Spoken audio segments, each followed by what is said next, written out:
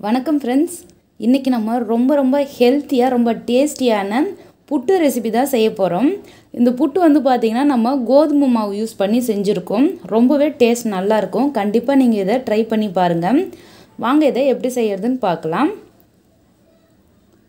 ஒரு பேனில் ஒரு கப் அளவு கோதுமை மாவு எடுத்திருக்கேன். உங்களுக்கு எந்த அளவுக்கு தேவைப்படுமோ அந்த அளவுக்கு நீங்கள் எடுத்துக்கங்க. இதை வந்து பேனில் சேர்த்து அப்படியே மீடியம் ஃப்ளேம் வச்சு இதை வந்து பார்த்திங்கன்னா ஒரு ஒரு நிமிஷத்துலேருந்து ஒரு ரெண்டு நிமிஷம் வந்து வறுத்து விட்டால் போதும். ரொம்ப வந்து வறுக்கணும்னு அவசியம் இல்லை. லைட்டாக அதை வறுக்கும்போது நல்ல கொஞ்சம் வாசனை வரும். அது வரைக்கும் இதை வறுத்துக்குங்க. ஒரு டூ மினிட்ஸ் வந்து வறுத்தால் போதும். அது லோ ஃப்ளேம்லேயே வறுத்துக்குங்க. பாருங்கள் இது நல்லா வறுத்தாச்சு. இதை இறக்கி தனியாக ஆற வச்சிடலாம். நல்லா ஆறின பிறகு அதுக்கப்புறம் நம்ம தண்ணி ஊற்றி பிசைஞ்சிக்கலாம். கொஞ்ச நேரம் இதை ஆறட்டும்.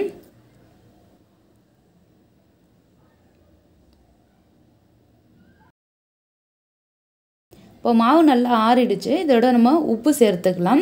தேவையான அளவுக்கு உப்பு சேர்த்துக்குங்க. உப்பை நல்லா வந்து கலந்து விடுங்க. எல்லா மாவுலேயும் படுற மாதிரி. உப்பு வந்து அப்படியே ராவாக சேர்த்துனாலும் சேர்த்துக்கலாம். ஆனால் தண்ணியில் கரைச்சி கூட நீங்கள் சேர்த்துக்கலாம். இப்போது இதில் தேவையான அளவுக்கு தண்ணி சேர்த்து மாவு வந்து நம்ம பிசைஞ்சிக்கலாம். கொஞ்சம் கொஞ்சமாக தண்ணி வந்து தெளித்து விட்டு தான் வந்து மாவு பிசையணும். ரொம்ப நிறைய தண்ணி ஊற்றக்கூடாது நான் ஒரு கப் மாவு எடுத்தல அதுக்கு ஒரு அரை கப் அளவு வந்து தண்ணி தேவைப்பட்டு இருந்திருக்கும்.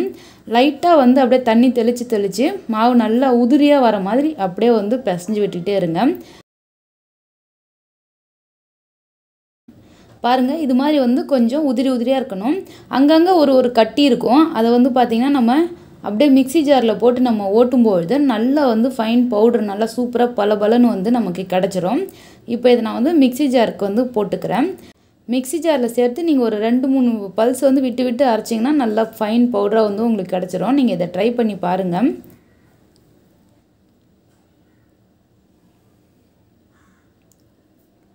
இப்போ பாருங்கள் நம்ம அரைச்ச பிறகு மாவு எப்படி இருக்குன்னு.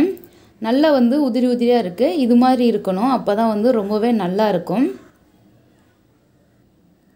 பாருங்கள் இப்போ நல்லா சூப்பராக வந்து நமக்கு அந்த புட்டு மாவு வந்து ரெடி ஆயிடுச்சு. இது மாதிரி வந்து நீங்கள் அரைச்சி எடுத்துக்கங்க. இப்போ நம்ம இதை ஒரு இட்லி பாத்திரத்துக்கு மாற்றி வேக வைக்கலாம். புட்டு செய்கிறதுக்கு முன்னாடியே நீங்கள் அடுப்பில் வந்து சுடு தண்ணி வச்சு கொதிக்க வச்சுருங்க இட்லி பாத்திரத்தில். நான் ஆல்ரெடி சூடு பண்ணி வச்சுருக்கேன்.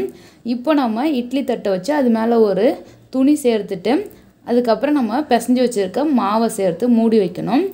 இது வேகிறதுக்கு மினிமம் ஒரு அஞ்சு நிமிஷம் கூட ஆகாது. ரொம்ப சீக்கிரமாக வந்துடும் ஒரு த்ரீ டு ஃபைவ் மினிட்ஸில் வந்து ரெடி ஆகிடும் ரொம்ப ரொம்ப குயிக்காக வந்து ரெடி ஆகிடும் இதை இதை வந்து பார்த்திங்கன்னா நம்ம டிஃபன் மாதிரி சாப்பிட்லாம். அப்படி இல்லைனா ஸ்நாக்ஸ் மாதிரி கூட சாப்பிட்லாம். ரொம்பவே சூப்பராக இருக்கும்.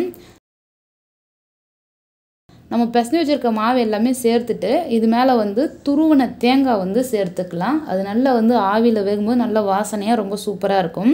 உங்களுக்கு எந்த அளவுக்கு தேங்காய் வேணுமோ அதை அப்படியே சேர்த்துட்டு இதை வந்து க்ளோஸ் பண்ணி மூடி போட்டு ஒரு ஃபைவ் மினிட்ஸ் வந்து குக் பண்ணுங்கள் சூப்பராக வந்து ரெடி ஆகிடும்.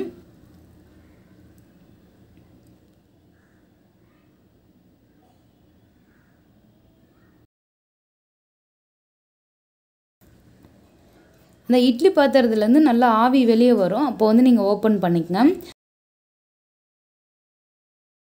இப்போ இந்த புட்டை வந்து ஒரு பாத்திரத்துக்கு மாற்றிட்டு இதில் ஏலக்காய் தட்டி வச்சுருக்கேன். ஒரு ரெண்டு மூணு ஏலக்காய். அதை வந்து சேர்த்துக்கலாம். ஏலக்காய் பவுடர் இருந்தாலும் நீங்கள் வந்து சேர்த்துக்கங்க. அதுக்கப்புறம் நம்ம இனிப்புக்கு தேவையான அளவுக்கு சர்க்கரை சேர்த்துங்க. நான் வந்து பார்த்திங்கன்னா வெள்ளை சர்க்கரை சேர்த்துருக்கேன். உங்களுக்கு இது வேண்டான்னா நீங்கள் நாட்டு சர்க்கரை கருப்பட்டி அது மாதிரி நீங்கள் உங்கள் இனிப்புக்கு என்ன நீங்கள் யூஸ் பண்ணுவீங்களோ அதை நீங்கள் வந்து சேர்த்துக்கலாம்.